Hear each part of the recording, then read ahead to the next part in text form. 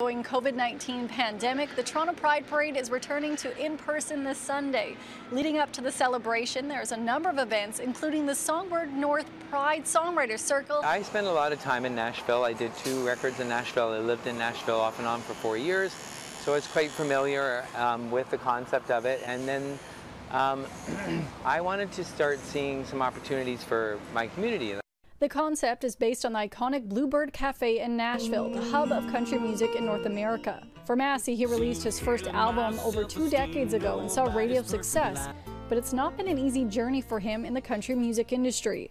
I came out over 20 years ago in country music, walked away from a multi-million dollar record deal. I was 24, I didn't really think about what I was doing, um, and um, I'm still struggling to this day to be seen um, and heard. Go your own way. Masse says he's faced discrimination throughout his career, being denied music grants, and even being left out of music festivals because of his sexual orientation. He hasn't let that stop him from pursuing his love of music, and he's used his platform to try and knock down any barriers for any other gay country artists.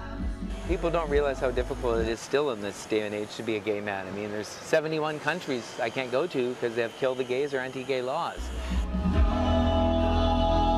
Masse says although it has been 20 years since he publicly came out, he still gets messages to this day on how his bravery changed other people's lives.